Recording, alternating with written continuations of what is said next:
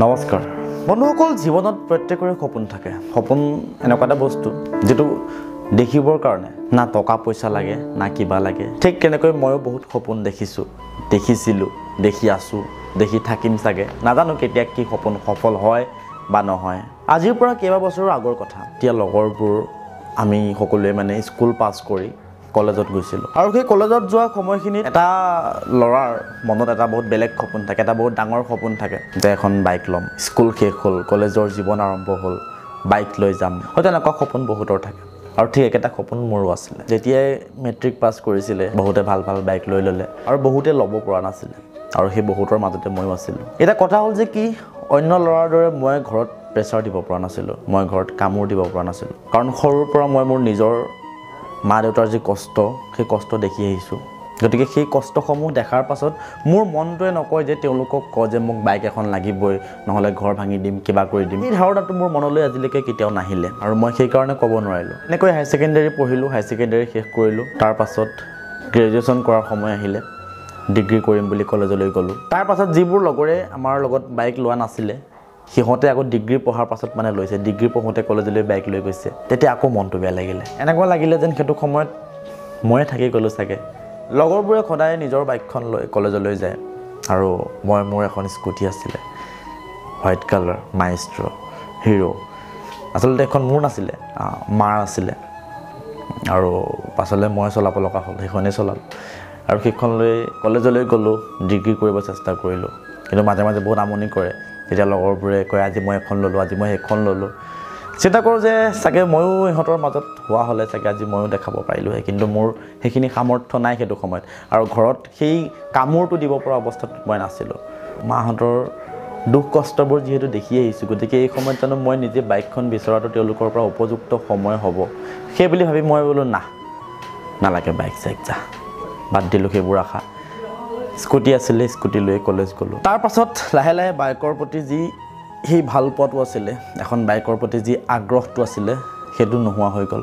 একেবাৰে বুকুৰ মাজত যিটো মানে এখন বাইক মোক লাগিবই লাগিবই লাগিবই সেই সেই মানে সেই ধাৰণাটো মোৰ নোহোৱা হৈ গ'ল মনৰ পৰা। এই বাদ দে দা বাইকখননো কি কৰিম? সেই চখটো মানে বাইক এখন চলোৱাৰ যে চখ থাকে এটা ল'ৰাৰ সেই চখটো মোৰ নোহোৱা হৈ গ'ল বাদ দিলোঁ নাই। ভৱিষ্যতৰ কথা চিন্তা কৰিব লাগিব এতিয়া। বাইকখনে মোক জীৱনটো একো কৰিব নোৱাৰে। গতিকে ভৱিষ্যতটোৰ কথা চিন্তা কৰিব লাগিব। চাকৰি পাম পাম পাম পাম বুলি আৰু বহি থাকিলে নহ'ব। কিবা এটাতো কৰিব লাগিব। সেনেকৈ ভাবোঁতে ভাবোঁতেই ইউটিউবত সোমালোঁ ইউটিউবত ভিডিঅ' বনোৱা আৰম্ভ কৰিলোঁ। আৰু আচৰিতভাৱে আচৰিতভাৱে বুলি ক'ব লাগিব আচৰিতভাৱে আপোনালোকে ইমান বেছি মৰম দি দিলে। যাৰ কাৰণে মই মোৰ কিছু কিছু প্ৰয়োজন আপোনালোকৰ মৰম চেনেহৰ কাৰণে মই মোৰ কিছু কিছু প্ৰয়োজন পূৰাবলৈ সফল হ'লোঁ। তেতিয়া লগৰবোৰে কয় যে ৰাজা তই এতিয়া ইউটিউবৰ পৰা ইনকাম কৰি আছ তোক বাইক এখন লাগে আৰু লৈ ল। কিন্তু মোৰ সেই সময়খিনিত বাইকখনৰ প্ৰতি ইণ্টাৰেষ্ট নাই মানে। না ইমান কষ্টৰে টকাবোৰ ঘটিছোঁ। গতিকে বাইকখন লৈ নিজৰ সময়বোৰ আৰু নিজৰ টকাবোৰ নষ্ট নকৰোঁ। সেনেকুৱা এটা ধাৰণা মনলৈ আহিলে। নালাগে বাইক যে। ইণ্টাৰেষ্ট নাই মানে বাইকখনৰ ওপৰত। সেইটো সময়ত একেবাৰেই নাই। যিমানবোৰ নিজৰ প্ৰয়োজনীয় বস্তু যিকোনো যিবোৰ মানে যি আজিৰ তাৰিখত মোক যিবোৰ লাগে প্ৰয়োজনীয় দিয়ক। প্ৰয়োজনীয়টোহে দেই। যিবোৰ প্ৰয়োজনীয় আজিৰ তাৰিখত সেইসমূহ লোৱাৰ চেষ্টা কৰিলোঁ। আৰু এনেকৈয়ে চলি আছিলে চলি আছিলোঁ যিবোৰ কৰিব লগা আছিলে কৰি আছিলোঁ যিবোৰ পাব লগা আছিলে পাই আছিলোঁ। বাইকৰ চেপ্টাৰটো মোৰ মানে হৃদয়ৰ পৰা ক্ল'জ হৈ গৈছিলে। তাৰপাছত কেইদিনমান আগত মই আপোনালোকৰ বাবে অল আছাম টুৰ বুলি এটা টুৰত গৈছিলোঁ টুৰ কৰিব গৈছিলোঁ। তাত মোৰ নিজৰ বাইক নাই ঠিক আছে? মই বেলেগৰ বাইকত গৈছিলোঁ মই মোৰ বন্ধু এজনৰ বাইকৰ পিছফালে বহি গৈছিলোঁ। আৰু সেই সময়খিনিত মোৰ অনুভৱ হৈছে যে বাইক এখন লৈ লওঁ নেকি? সেইখিনি সময়ত মোৰ আকৌ মানে সেই বাইকৰ যি সেই পুৰণা বাইকৰ যিটো ভূতটো মানে ভূতটো বুলি ক'ব লাগিব সেইটো মোৰ মনলৈ আকৌ আহিলে। যে আজি যদি মোৰ বাইকখন থাকিলে তেনেহ'লে চাগে আগফালে গ্ৰ'প্ৰ লগাই কেমেৰা লগাই বাইক চলাই মই গ'লোঁ হয় ভিডিঅ' বনালোঁ হয় আপোনালোকে ভাল পালে হয়। তাৰপাছত লগৰবোৰৰ সৈতে ডিছকাছ কৰিলোঁ ঘৰৰ সৈতেও কথা পতা পাতিলোঁ যে বাইক এখন লাগিছিলে লওঁ নেকি? তেতিয়া লগৰবোৰে কৈছে যে হয় দেউতা বাইক এখন লওঁ ঘৰৰ পৰাও মানে হাঁহ বুলি আহিলে। তাৰপাছত বোলো না ঠিক আছে এবাৰ বাইক লৈ ল'ম। ফাইনেলি আজি তেইছ মাৰ্চ দুহেজাৰ একৈছ আজিৰ তাৰিখটোতে মোৰ বাইকখন লৈ পেলালোঁ।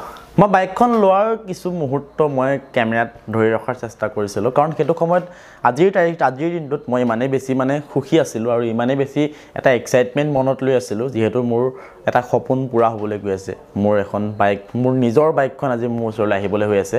গতিকে সেইটো সময়ত আৰু মোৰ ভিডিঅ' বনাই ফুৰাৰ মুড একেবাৰে নাছিলে। তথাপিও মই দুটামান ভিডিঅ' ক্লিপ লৈ থৈছিলোঁ তাৰে আপোনালোকক দেখুওৱাৰ চেষ্টা কৰিছোঁ।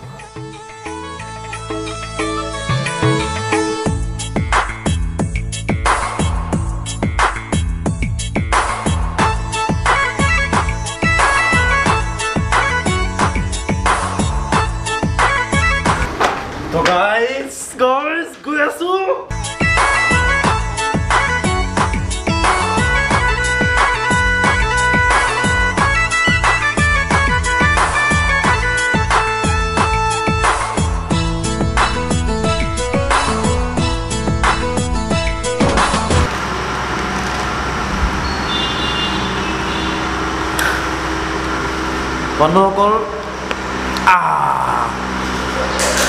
চাৰে ছটা বাজিলে। হয়তো আৰু অলপ পাছত সাতটা বাজিব। কিন্তু বাইকৰ কাম হৈ আছে। দেখাম কি বাইক। হোৱা নাই এতিয়ালৈকে। ভাগৰ লাগিছে এলাহ লাগিছে। ৰৈ থকা কামটো অকণমান আমনি কাম একো নাই।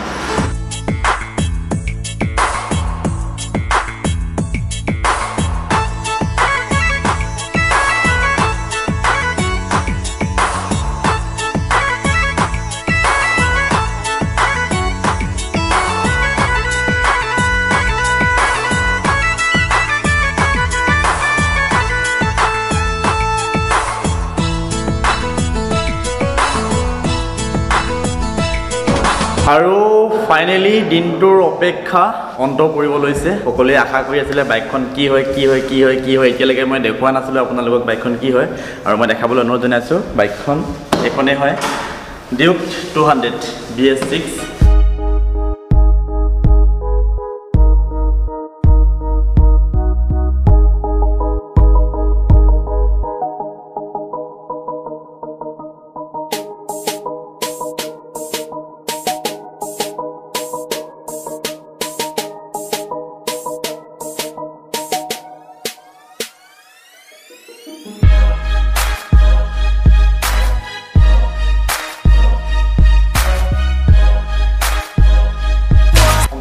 কামখিনি মোক একেলগে কৰি দিছে। তো বহুত বহুত ধন্যবাদ। বাকী লগতে কে টি এমৰ লখিমপুৰ যিটো শ্ব'ৰুমত আছে আমাৰ এলবাৰ্ট দা।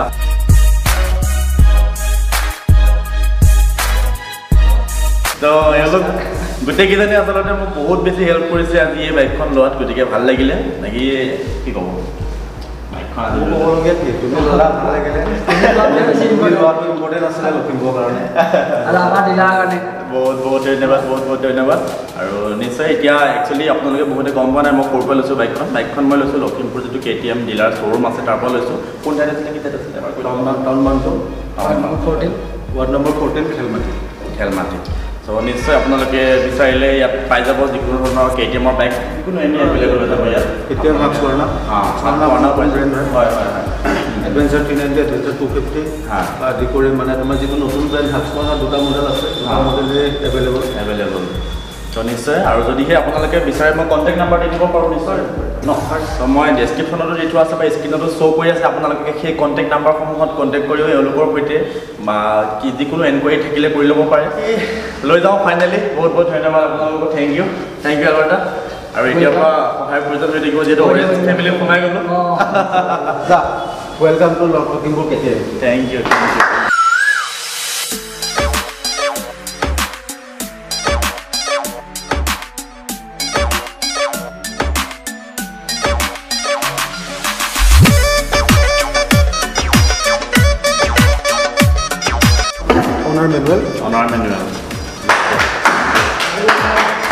তাৰোপৰি এইটো আমাৰ কি তোমাৰ তোমাৰ তো থেংক ইউ বহুত বহুত ধন্যবাদ আহ, লখিমপুৰ কে টি এম ইমান মৰম দিয়াৰ কাৰণে মই ভবাই নাছিলোঁ আচলতে এনেকৈ হ'ব বুলি। ভাবিছিলোঁ বাইকখন আহিব লৈ যামগৈ। কিন্তু তেওঁলোকে মই মানে মোক এটা ছাৰপ্ৰাইজ দি দিলে। ত' মই আশাও কৰা নাছিলোঁ মই ভবাই নাছিলোঁ মানে। ত' থেংক ইউ আকৌ এবাৰ থেংক ইউ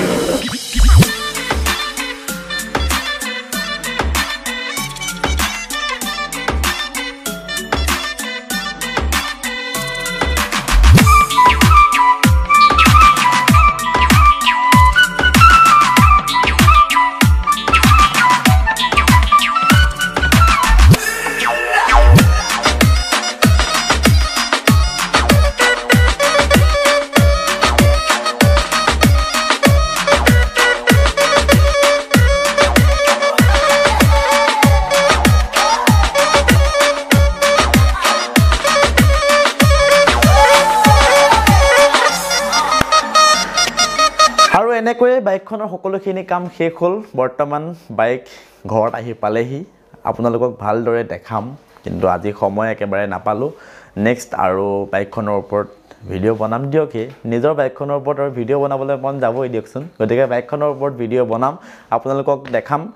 বাকী সকলোৱে আশীৰ্বাদ কৰিব মোৰ বাইকখন যাতে ভালদৰে থাকে আৰু ভালদৰে চলাব পাৰোঁ। প্ৰথমে কৈছোঁ জীৱনত কেতিয়াও ডিউক চলাই পোৱা নাই। K T M K T এমৰ বাইক মই জীৱনত চলাই পোৱা নাই কোনোদিন চলাই পোৱা নাই। আপোনালোকে ভাবিছে ই কিবা সৰু দৰে কথা কৈ আছে কাৰণ আজি মোৰ মানে ভিডিঅ' বনোৱাৰ ইচ্ছা একেবাৰে নাছিলে। হ'লেও তথাপিও আপোনালোকক আপডেটটো দিব লগা আছিলে। সেইটো কাৰণে ভিডিঅ'টো বনালোঁ। বাকী সকলোকে মোৰ ফালৰ পৰা বহুত বহুত বহুত বেছি ধন্যবাদ। এয়া মাত্ৰ আপোনালোকৰ কাৰণে সম্ভৱ। আপোনালোকে ইমান বেছি মৰম দিছে ইমান মানে কি ক'ম? জোখতকৈ বহুত বেছি আপোনালোকে মৰম চেনেহ দিছিলে দিছে দি আছে। আৰু মই ভাবোঁ দি থাকিব। আৰু আপোনালোকৰ কাৰণে আজি মোৰ এটা সপোন পূৰা হৈছে। আৰু অনাগত দিনত আপোনালোকৰ কাৰণে সদায় কাম কৰি যাম। আপোনালোকৰ কাৰণে যিমান পাৰোঁ ভাল ভাল ভিডিঅ' মই বনাই যাম।